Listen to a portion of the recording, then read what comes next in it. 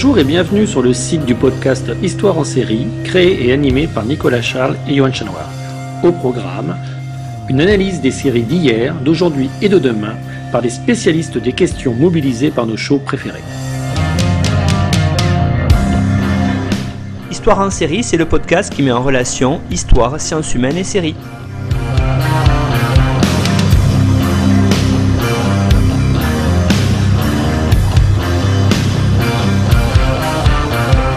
Bonjour à tous, bienvenue dans l'épisode numéro 57 d'Histoire en série où je reçois aujourd'hui Sophie Blateki. Bonjour Sophie. Bonjour, bonjour, bonjour. Alors Sophie, vous avez donc 26 ans, vous êtes titulaire depuis 2017 d'un master en recherche historique.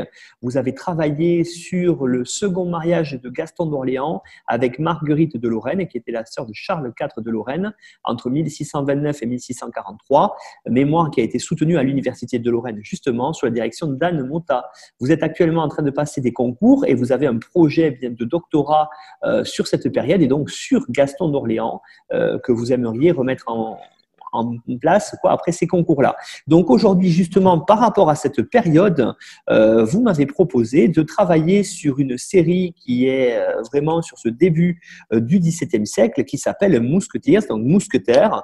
Est-ce que vous pourriez commencer en priorité par nous la présenter? Oui, bien sûr. Alors, The Musketeers, ben, comme l'indique son titre, c'est une adaptation de l'œuvre d'Alexandre Dumas, Les Trois Mousquetaires. Donc, euh, euh, la série reprend euh, grosso modo les événements des livres, puisque il me semble, je les ai pas lus, donc ce sera confirmé, je dis peut-être des bêtises, mais ça reprend les événements des deux autres romans qui suivent les, trois, les trois mousquetaires, à savoir 20 ans après le conte de Bragelonne. Euh, la série, elle, a été euh, tournée entre 2014 et 2016, donc euh, c'est assez récent comme comme série et c'est pas la première ni la sûrement la dernière adaptation des Trois Mousquetaires qu'il y a à l'écran, que ce soit en série ou à la télévision. Donc Sophie, justement, peut-être hein, pour revenir euh, là-dessus sur cette série, est-ce que vous pourriez présenter euh, quel est à la fois le contexte de production de cette série-là et aussi peut-être narrer euh, le scénario que l'on peut retrouver dedans? Alors oui, tout à fait. Alors déjà, ce qu'il faut savoir, c'est qu'au moment où la première saison de Musketeers est diffusée, c'est on pas du tout le premier, euh, le premier truc qui se fait euh, depuis le début des années 2000 sur euh, les Trois Mousquetaires. Parce que quelques années avant, en 2011, il y a eu un grand film hollywoodien sur les Trois Mousquetaires on va pas dire que c'est un grand film, parce que je pense que ceux qui ont déjà vu ce film, on peut aisément dire qu'on met le cerveau à côté quand on regarde. Euh, vaut mieux parce que sinon il y a certains trucs, euh, c'est complètement euh, abracadabrantesque, comme diraient, euh, comme diraient les personnes. Mais non, il faut vraiment garder à l'esprit que c'est pas du tout la première œuvre de, des Trois Mousquetaires au moment où la série commence. Et de plus, par rapport à la série, ce n'est pas du, on n'est pas du tout dans le même euh, contexte de production. À savoir que euh, pour le film, qui a été réalisé par euh, Paul Anderson en 2011, on a quand même un, gros casting. C'est le casting typique des productions hollywoodiennes. Euh, en braque, on a Orlando Bloom qui joue Buckingham. Orlando Bloom, c'est quand même le Seigneur des Anneaux, euh, Legolas et Pirates des Caraïbes. Richelieu est joué par Christophe Valls. il a fait où il va faire peu après ce film Inglorious Bastards, euh, notamment après il en a fait, d'autres films, mais euh, voilà. Après il y a aussi euh, Matt Mikkelsen qui joue Rochefort. Matt Mikkelsen, il est surtout connu pour jouer un antagoniste de James Bond, le chiffre, si je me souviens bien. en tout cas, c'est un budget de rien que par rapport au casting, c'est un gros budget de blockbuster. Ça, alors qu'on n'est pas du tout sur cette optique-là dans The Musketeers. Euh, en termes de casting, euh, les plus connus, euh, et encore, c'est pas tout à fait vrai au moment où la série elle sort, c'est plus par rapport après. Clairement, le plus connu, c'est Peter Capaldi, puisque il, joue le rôle de Richelieu, mais justement, on va en revenir après. il va lâcher le rôle de, de, Richelieu pour prendre le rôle du 12e Docteur pour la série Doctor Who. Pour ceux qui ne connaissent pas, Doctor Who, c'est quand même une des plus grosses séries en Angleterre et clairement on peut comprendre en termes de notoriété pourquoi Capaldi est parti, il est parti sur Doctor Who. et après le deuxième le plus important c'est Ryan Gage, Ryan Gage qui joue Louis XIII. Alors lui il a retenu un, un rôle secondaire dans Le Hobbit son personnage, c'est Alfred, c'est le, sous-fifre du maire de la ville euh, en bas de la montagne, celui qu'on voit euh, pendant les films euh, essayer d'esquiver, enfin un peu le pleutre, quoi que ce soit. Après, tout ce qui est les autres rôles, c'est vraiment des rôles ils ont eu des rôles anecdotiques ou même euh, après euh, justement The Musketeers, ils n'ont pas vraiment marqué l'histoire de la série. Euh, je prends par exemple D'Artagnan qui est joué par Luc Pascalino. Il a un rôle récurrent dans la série The Borgias, la série américaine, pas celle sur Canal. Justement, il joue un amant de Lucrèce Borgia. Borgia. Après, éventuellement, celle qui a peut-être plus marqué en termes de second rôle par rapport à en termes de série, ce serait Alexandra Dowling qui joue euh, Anne d'Autriche. En fait, on la connaît surtout, c'est parce que si des personnes ont regardé des Game of Thrones, je pense que vous, avez dû en parler euh, pendant le podcast. Euh, et ben en fait, c'est elle qui joue Rossine Frey. Et Rossine Frey, c'est elle qui dont le mariage va justement prouver qu'il n'est pas bon d'emmerder euh, Twin Lannister. Voilà. Et que les pluies des Castamir, quand on chante ça à son mariage, ça va partir généralement en cacahuète, hein, pour être, pour être. Donc euh, voilà, en, gros, voilà, c'est le casting plus ou moins que j'ai retenu qui me paraissait euh, important, entre guillemets, puisque important, clairement, la, la personne qui est plus importante dans tout le casting de de The Musketeer, c'est Peter Capaldi. Et on ne peut pas dire que, euh, que ce soit vraiment le principal objectif de faire euh, un casting avec plein de noms connus, parce que euh, c'est la BBC qui, qui produit The Musketeers. Or, quand si la BBC veut aligner de l'argent concrètement pour faire des séries avec des têtes d'affiche, elle sait, elle sait le faire. On peut prendre par exemple l'exemple de The Zero Crown, l'adaptation euh, des, euh, des, œuvres de Shakespeare, euh, tout le cycle shakespearien. dedans, dans ça, on a par exemple Benedict Cumberbatch qui joue Sherlock, qui joue Doctor Strange, qui en a joué d'autres. Tom, Hiddleston qui joue Loki dans l'univers Marvel. Il y a John, le regretté John Hurt. Patrick Stewart, Judy Dench, Jeremy Irons. Enfin, vraiment, ça se voit que c'était pas du tout l'objectif principal de faire de faire un casting euh, hors euh, quatre étoiles comme a pu le faire le film, euh, le film quelques années avant. Alors justement, Sophie, au niveau maintenant de, l'histoire hein, qui est traitée dans cette série-là, par rapport au film qui était centré autour du vol des ferrets de la reine, là, on n'est pas du tout dans cette histoire-là, ou en tout cas, cette, cette partie de l'histoire du vol des ferrets, elle est totalement, quasiment anecdotique dans la série. Oui, tout à fait, elle est totalement anecdotique. pour avoir gardé en détail la série, euh, surtout la saison 1. Puis après, j'ai passé euh, les saisons 2 et 3 très rapidement. C'est surtout dans la saison 1, l'épisode 2, qu'on parle de cette histoire des, des ferrets de la reine dans la série euh, The Musketeers.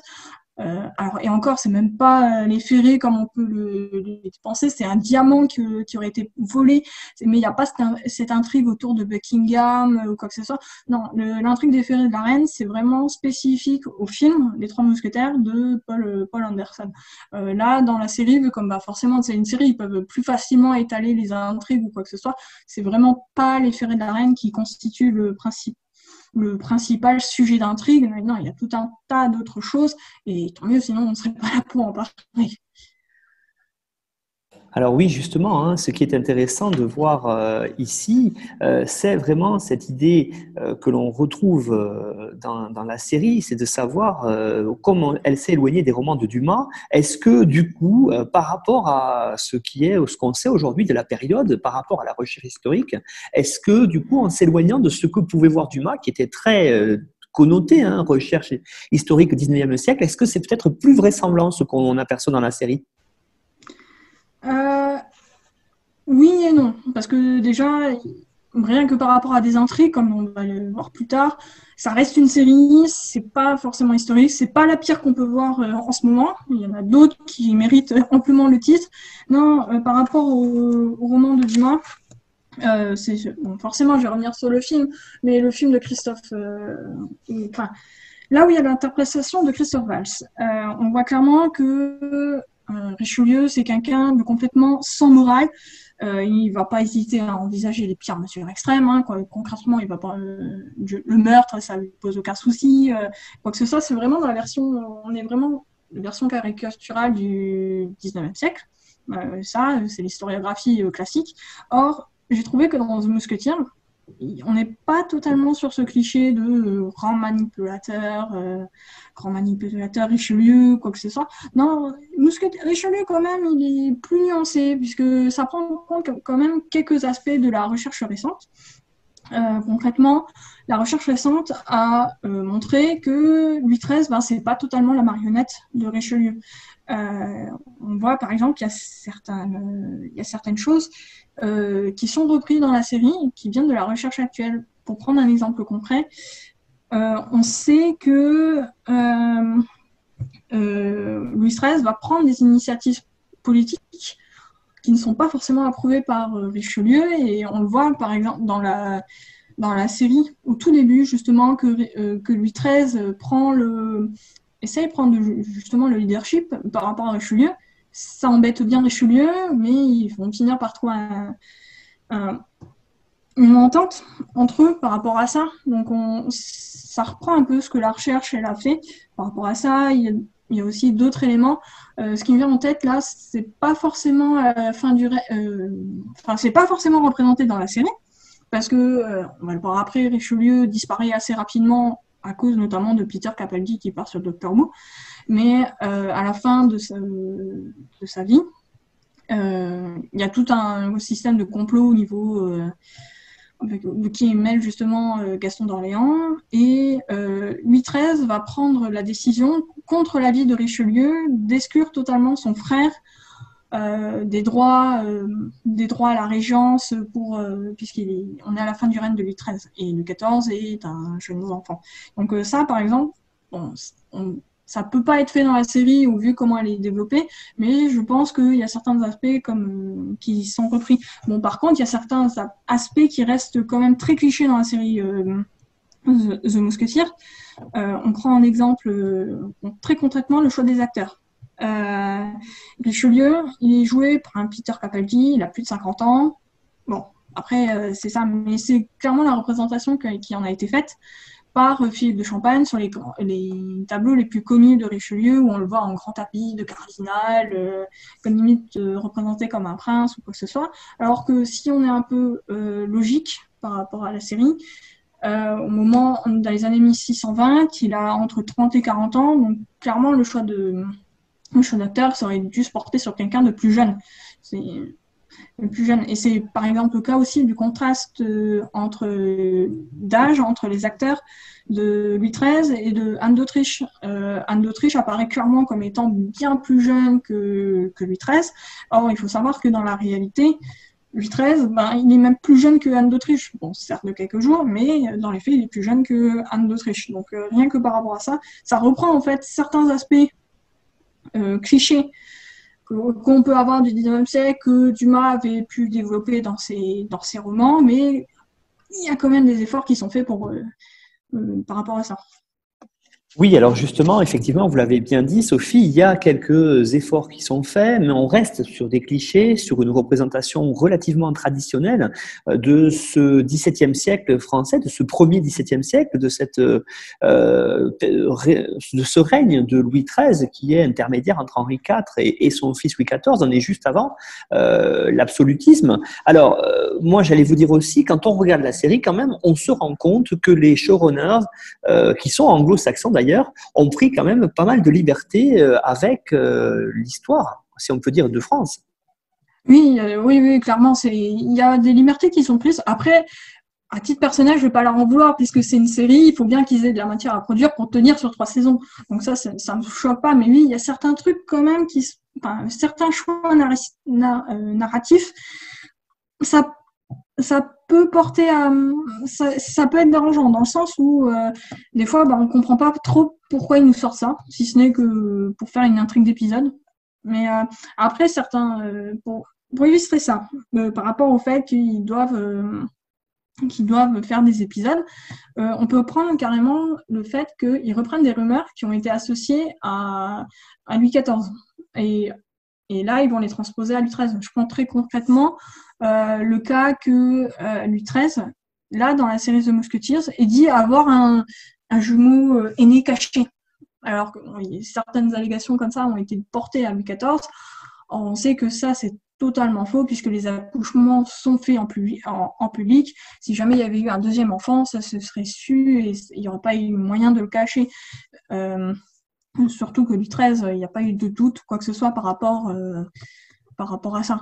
Euh, c'est le cas aussi, par exemple, bah, justement de Louis XIV. Aramis, c'est le père de Louis XIV alors que ben, il n'y a pas du tout de doute à cette époque-là que c'est bien Louis XIII le père de Louis XIV. Donc, euh, donc voilà, il y a certains choix aussi narratifs. On reprend une forme de cliché, des clichés qui sont associés à Louis XIV, et des fois on va reprendre des clichés de Louis XIV qu'on va associer à Louis XIII. Bon, ça je pas totalement, je n'ai pas trop compris pourquoi, surtout que il y a d'autres moments qui prennent d'autres choses qui sont beaucoup plus cohérentes. Et après aussi, ce que, comme j'ai déjà pu le dire, c'est qu'ils font des arcs narratifs par rapport au fait euh, de leur casting. Ben, comme j'ai dit, Peter Capaldi, qui joue Richelieu, euh, il lâche le rôle de Richelieu pour partir sur le, sur le tournage de Doctor Who. Et donc, du coup, le personnage, ils ont deux possibilités. Soit ils font un changement de casting, soit ils le font mourir. Ils ont préféré le faire mourir. Le, le souci, c'est que quand ils l'ont fait mourir, eh ben, en fait, ça. La saison 2 s'ouvre sur, sur ses funérailles, que Louis XIII assiste, mais dans le même temps, il y a la naissance de Louis, euh, XIV, qui est le fils, euh, le fils bâtard d'Aramis. Or, Louis XIV, il naît en 1638. Richelieu, il meurt en décembre 1642. Certes, Richelieu n'est pas à la cour euh, pour cause de, pour cause de la guerre euh, au moment de la naissance de, Louis XIV. Mais euh, voilà, ils, se sont adaptés comme ça pour, euh, pour essayer de créer des arcs narratifs, surtout au début de la saison 2, puisque le principal antagoniste, bah, il n'est plus là, l'acteur n'est plus là. Puisque clairement, la saison 1, il, laissait, il construisait la série comme quoi la saison 2, ce serait de nouveau Richelieu, le principal antagoniste des Mousquetaires. Alors justement, Sophie, ce qui est intéressant de voir là, euh, quand on voit ça, c'est qu'on a, vous l'avez dit, ajouté hein, des arcs narratifs pour voir ce qui se passe. Alors on a des exemples, par exemple, de tentatives d'assassinat sur Louis XIII, qui, sont, qui réellement ne s'est pas passé. Oui, euh, oui ça, m'avait un peu surpris au niveau de la, saison 1, quand, euh, surtout la saison 1 où il y a ce genre de ce genre d'intrigue. c'est qu'on fasse des tentatives d'assassinat sur Louis XIII en soi, c'est pas nouveau qu'un roi de France euh, soit victime de tentatives d'assassinat, mais Lutras n'est pas spécialement connu pour avoir des tentatives euh, des tentatives d'assassinat. À, l'époque, euh, à l'époque, c'est plutôt Richelieu qui fait l'objet de tentatives d'assassinat. Il en a fait, il en a eu quand même un certain nombre de tentatives d'assassinat. je pense par exemple à la, euh, à Chalais, à, Saint-Mars, à la fin du règne. ça a été en permanence, euh, il a été en permanence victime de complots visant à l'assassiner. Donc du coup, plutôt que de faire une tentative euh, d'assassinat sur Louis XIII, ne serait-ce que faire une tentative d'assassinat sur Richelieu, ça aurait pu avoir un acte de narratif plutôt intéressant puisque les, mousquetaires qui apparaissent comme ennemis de Richelieu auraient été obligés de le, de le protéger, ce qui aurait pu faire un, un arc narratif, à mon sens, plutôt pas mal, mais c'est pas moi qui ai choisi. Donc, euh, donc voilà. Oui, effectivement, hein, il y a ces choses-là, avec euh, bien sûr d'autres rumeurs qui sont reprises. Hein, vous l'avez dit, avec cette idylle, euh, notamment de la reine, euh, donc Anne d'Autriche, avec Aramis. il y a aussi l'idée que Louis XIII aurait eu un frère jumeau qui aurait été emprisonné à la prison de, dans la prison. Hein, C'est les fameuses histoires du masque de fer. Donc on a comme ça des, bah, des cadres, j'allais dire des cadres mentaux qui sont repris, des, idéaux, des idéologies qui sont reprises comme ça et qui euh, reviennent à travers cette série-là. Oui, oui, oui, mais dans le, dans le même temps, on, utilise des clichés, mais bizarrement, on, utilise des vrais éléments euh, historiques, si je, si je dis, pour euh, parler, euh, pour faire des intrigues autour de, de The Musketeers. par exemple, il y a un épisode en première saison et qui évoque l'enjeu de la, de l'alliance de la France avec la, avec la Savoie. Et il faut savoir que à cette époque-là, donc en gros dans les années 1620-1630, il y a la guerre de 30 ans en Europe. Donc euh, pour très caricaturer, je sais, c'est pas ça, mais en gros c'est protestants euh, contre catholiques dans le Saint-Empire. Et la France va essayer de jouer ses propres intérêts en s'alliant aux protestants, les catholiques étant soutenus par les Habsbourg, puis il y a des États un peu périphériques comme la Savoie, la Lorraine, qu'on va essayer de s'attirer, euh, que les États vont essayer de s'attirer le soutien pour dans le jeu de conflit. C'est très schématisé. Voilà, la Savoie est l'un de ces, de ces États dont on recherche l'alliance. Et justement, il y a un épisode où on essaye de, montrer en quoi l'alliance de la Savoie peut être intéressante pour le Royaume de France. Bon, c'est pas totalement expliqué comme ça, mais on voit par exemple, il y a la, en toile de fond, qu'il y a la guerre de 30 ans. Il y a aussi quelques épisodes en saison 2, je crois. Ouais, ça doit être la saison 2, où on voit par arrière-plan, il y a les champs de bataille, que, on voit les mousquetaires qui sont obligés d'y aller. Euh, quoi mais bon, c'est pas nommé, c'est, pas un cours d'histoire très clairement, mais on voit que la, euh, que la série se place, euh, a en toile de fond la, guerre de 30 ans. Et euh, ça, on le voyait pas euh, par exemple, forcément, je pense au film, où on voit bien qu'il euh, y a Buckingham, on sait qu'il est anglais, mais on ne sait pas trop qu'est-ce qu'il vient faire en France. On sait, je sais pas, moi je me souviens pas pourquoi ils expliquent qu'il est en France ou quoi. Donc, euh, voilà. Mais après, il n'y a pas que la Savoie qu'on parle, qu'on parle dans les épisodes, on voit aussi qu'il y a euh, des thématiques qui sont bien plus franco-françaises. Euh, il y a par exemple la, relation hiérarchique entre le clergé et le pape, dans laquelle la, euh, Richelieu va se positionner, puisqu'il est mine de rien, il est cardinal, donc du coup c'est intéressant pour lui de, de voir comment il va se placer par rapport à, par rapport à ça. Mais il y a aussi parce qu'il y a un épisode aussi où euh, le pape il essaye de faire assassiner Richelieu du coup ils en parlent des assassinats de Richelieu mais c'est pas c'est pas totalement euh, aussi important que comme ça a été en réalité euh, comme j'ai pu parler avant. Enfin il y, a, tout un tas de choses. Après une autre thématique très franco-française il y a il y a celle des duels. Bon bah c'est c'est bien connu les mousquetaires quand on les représente c'est très combat entre KPDP, quoi que ce soit. Je vais pas m'étendre dessus parce que euh, pour ceux que ça intéresse, euh, c'est euh,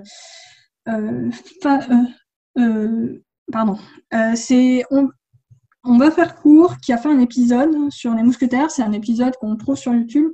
Je trouve qu'il est particulièrement bien fait et à titre personnel, je suis plutôt depuis que j'ai entendu la remarque concernant le film Les Mousquetaires et comment se déroule la fin. Concernant Mario, je suis totalement d'accord. C'est totalement ça. Je trouve que c'est plutôt bien fait. Ça, ça je pense que ça, parlera plus de gens que, moi, ce que je peux dire, parce que je suis pas trop spécialiste de la représentation des duels ou quoi que ce soit.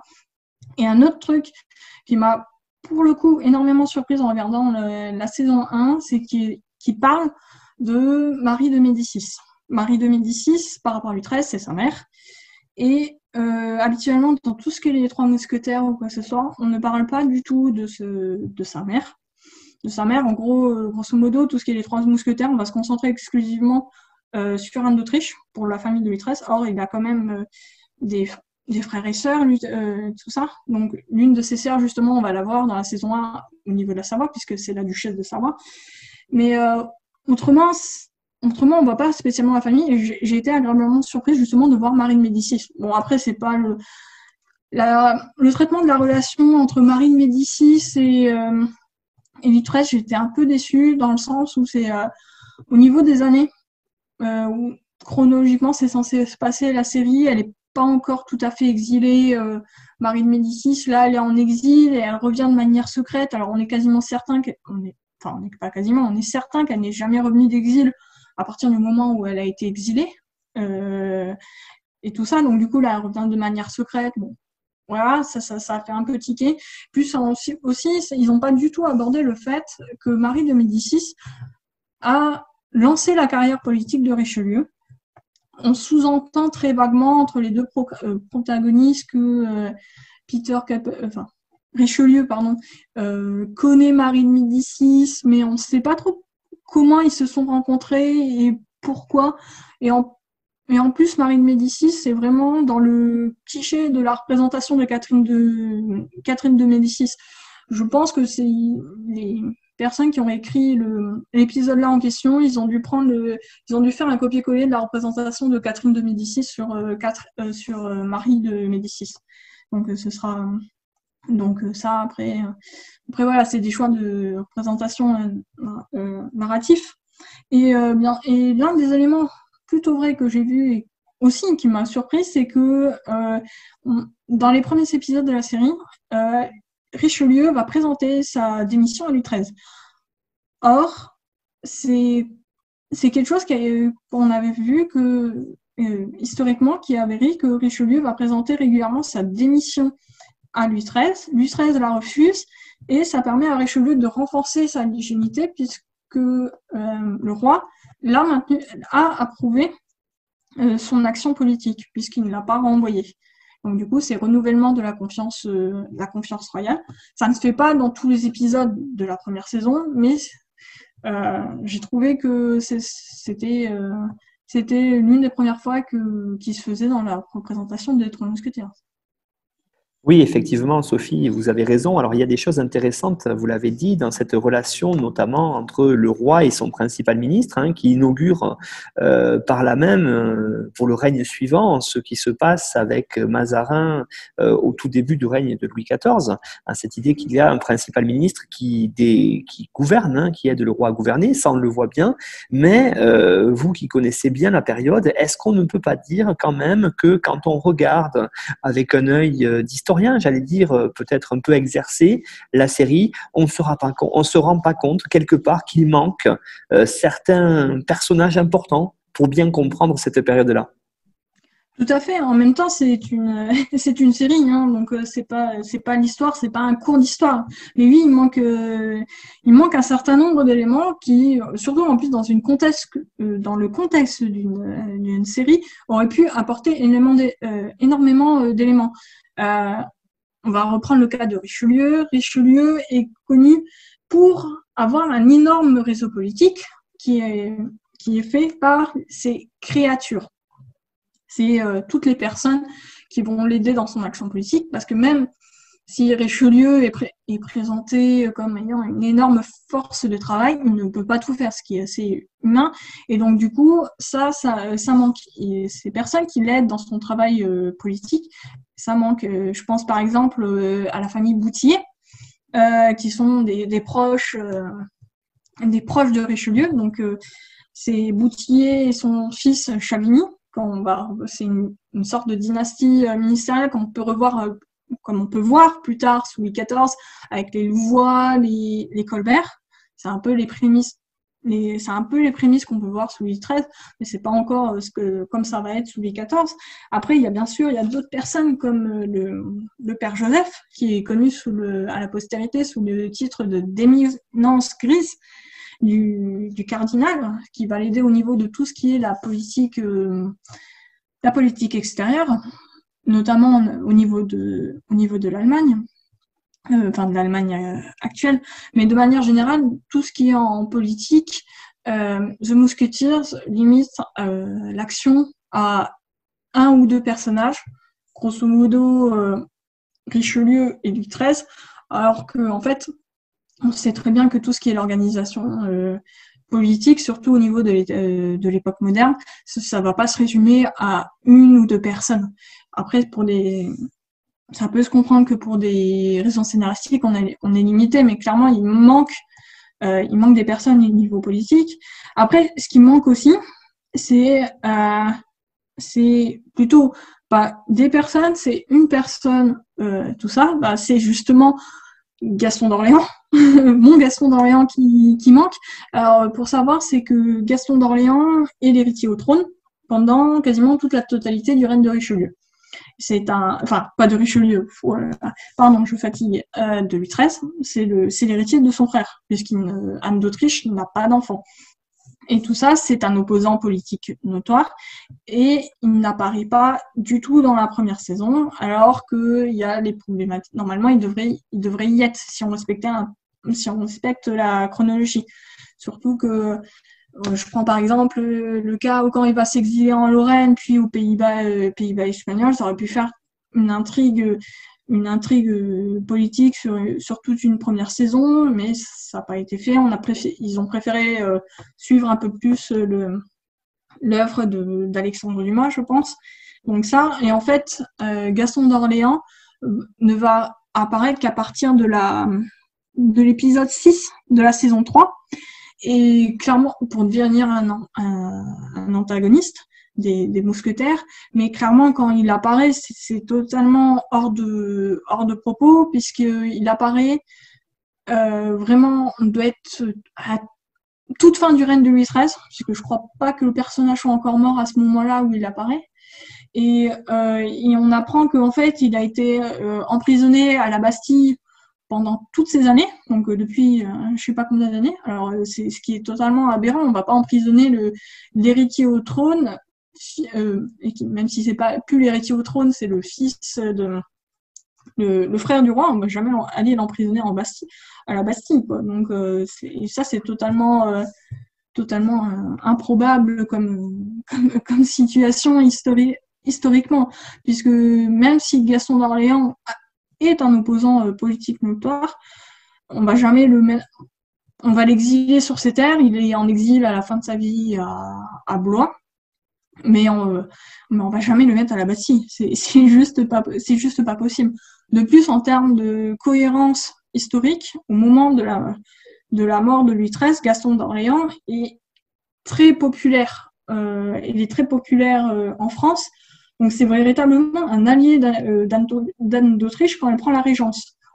Tout ce qui est au début de la fronde, Gaston d'Orléans soutient le pouvoir royal. Donc ça n'a pas de sens que Gaston d'Orléans euh, soit un opposant euh, déclaré à, sa belle-sœur.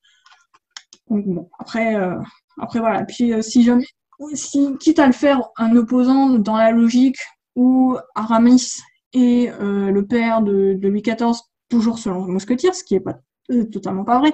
Ils auraient pu le faire dans le sens où il veut récupérer son, euh, son droit au trône, puisqu'il sait que l'enfant, c'est, c'est pas son neveu.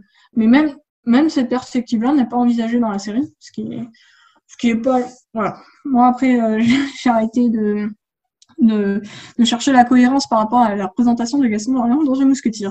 Alors après, de manière générale, comme j'ai pu dire, la, famille de Louis XIII est très très peu abordée. Gaston d'Orléans apparaît à la toute fin parce que euh, on donne l'impression qu'ils ont besoin d'un antagoniste, donc euh, vite, c'est lui qu'on va trouver. Euh, on voit rapidement sa sœur dans un épisode de la saison 1. Bon, ça c'est avéré que Chrétienne ou Christine de, de, France ait pu aller voir son frère et sa belle-sœur. Que ce soit, je crois qu'à la oui, Ouais, pendant le règne de Louis XIII puis sous Louis XIV, ils sont, euh, elle est allée voir, euh, elle est retournée en France à plusieurs reprises, mais on parle pas de sa sœur, euh, de la sœur de Louis XIII qui est reine d'Espagne. On parle pas de sa sœur, de son autre sœur Henriette qui est en Angleterre. Donc tout ça au niveau des frères et sœurs, on n'en parle pas spécialement. Et en plus, qu'on n'en parle pas du tout, c'est que Louis XIV a un frère cadet, le futur Philippe d'Orléans, on n'en parle pas du tout. Ils font comme s'il était euh, fils unique. Donc voilà, il y a pas mal de. Il y a ça qui, manque. Donc ça, c'est pas le gros point, tout ce qui est personnage qui manque euh, que j'ai remarqué. Ce que j'ai remarqué aussi, c'est par rapport à la représentation, il y a d'énormes euh, soucis de représentation de XIII et de Richelieu. Hormis les choix de, casting, il y a le fait que Louis XIII et Richelieu sont connus pour être des grands malades. Donc euh, ça, on va, euh, on sait que euh, Louis XIII a une énorme alerte de santé à l'été 1630, au point qu'on pense justement que Gaston d'Orléans va prendre la succession, tellement que Louis XIII semble à l'article de la mort, ce qui va aboutir à la journée des dupes. Et euh, Richelieu, euh, enfin, Richelieu aussi est connu pour être malade de manière chronique. Donc euh, ça, pour dire à quel point l'état de santé est vraiment des deux personnages vraiment en très mauvais état, c'est que Richelieu il meurt en décembre 1642, Louis XIII le suit moins de six mois plus tard, en, mai 1643. On, voilà, on sait très bien que euh, à la fin du règne de Louis XIII, ce sera forcément une régence. On ne pense pas que Louis XIII va, vivre, va vivre euh, très longtemps. Donc euh, ça, mais dans ce mousquetier, les problèmes de santé de Richelieu et de XIII n'apparaissent pas du tout. dans la saison 1 où il y a Richelieu, on n'en parle pas du tout, alors que et euh, les problèmes de santé de XIII, on commence à en parler très rapidement. Et à la fin de la saison 3, c'est pas, c'est pas tout à fait, euh, c'est pas tout à fait clair, mais euh, donc voilà, c'est vraiment très très ponctuel. Alors qu'en fait, tous les problèmes de santé de Louis XIII et de Richelieu s'étalent sur l'ensemble, sur l'ensemble du règne. Et ces problèmes de santé, va prendre encore plus d'importance que euh, ben, Louis XIII et Anne d'Autriche, ils n'ont pas d'enfants. Dans la série, Anne d'Autriche euh, n'est pas du tout accusée, comme dans la réalité, de faillir à son rôle de reine de France, à savoir donner un héritier. Il faut savoir, dans la réalité, elle a eu quand même quatre fausses couches avérées. Et donc, euh, ça, Or, on sait que Louis XIII a reproché à Anne d'Autriche de faire tout ce qui est des, des fausses couches ou quoi que ce soit. On, ça, Louis XIV, c'est vraiment un miracle. Ouais, on peut le dire, c'est un miracle aux yeux des contemporains qui, qui, puisse être, qui puisse vivre au vu de toute la mésentente qu'il y avait entre le couple Louis XIII et, Anne d'Autriche. Or, dans la série, c'est euh, euh, par rapport à la naissance d'enfants qui n'arrivent pas, c'est vous inquiétez pas, vous êtes encore jeune, euh, on le dit clairement à plusieurs reprises dans les épisodes. Plus aussi, on ne met pas du tout de faute sur Anne d'Autriche. Et euh, du coup, euh, enfin voilà, c'est un peu compliqué euh, tout ça. On va pas déprécier le rôle d'Anne d'Autriche qui apparaît comme étant très vertueuse, très protectrice envers les mousquetaires ou quoi que ce soit. C'est la série laisse limite. Moi, j'ai compris comme ça que la série acceptait totalement le fait que bon bah elle arrive pas, elle tombe amoureuse d'Aramis, donc c'est pas grave, elle a un enfant avec lui et Louis XIII accepte que ce soit l'enfant d'Aramis qui monte sur le trône de France. Ça colle pas historiquement. Je, je, doute fortement que qu'un roi de France accepte de, de laisser monter un bâtard d'une reine qui n'apprécie pas plus que ça. Oui, Sophie, effectivement, vous avez raison. Hein, avec ce jeune Louis XIV, hein, qui a été tout de suite baptisé en Louis Dieudonné, hein, pour euh, montrer le miracle qu'il y a eu véritablement euh, de sa naissance. Alors c'est vrai que là, on est dans une série divertissante, on va dire, qui euh, trouve dans cet arc narratif de l'amour de notre, peut-être, l'idée à intéresser plus de spectateurs. Alors on vous remercie, Sophie, pour cette analyse de cette série. C'est vrai mmh. qu'on peut regarder, qui est avec une en, prenant avec des pincettes à la fois certains personnages et puis le cadre historique, en se rappelant aussi hein, les, ce qu'a fait Alexandre Dumas, hein, qui n'était pas lui non plus, euh, j'allais dire, un parangon de vertu historique, hein, qui a aussi largement développé un, certain nombre de clichés, comme vous l'avez bien montré. Donc pour celles et ceux qui voudraient aller plus loin que cet épisode 57 d'Histoire en série, euh, vous avez mis euh, quelques ouvrages en bibliographie indicative que l'on retrouve sur notre site internet histoireensérie.com ou comme pour tous les épisodes, euh, il y aura une présentation de l'intervenante, donc de vous Sophie, ainsi qu'un résumé euh, de l'émission qui vous permettra de, suivre le fil et euh, avec la bibliographie d'aller plus loin. Alors nonfiction.fr, notre partenaire, relaie comme toujours l'info sur la sortie des podcasts et vous pouvez y aller pour avoir à la fois le résumé du podcast et les liens pour l'écouter. Il ne me reste plus Sophie qu'à vous remercier pour cette intervention sur The Musketeers et à vous dire à bientôt j'espère. Au Merci à vous aussi. À bientôt.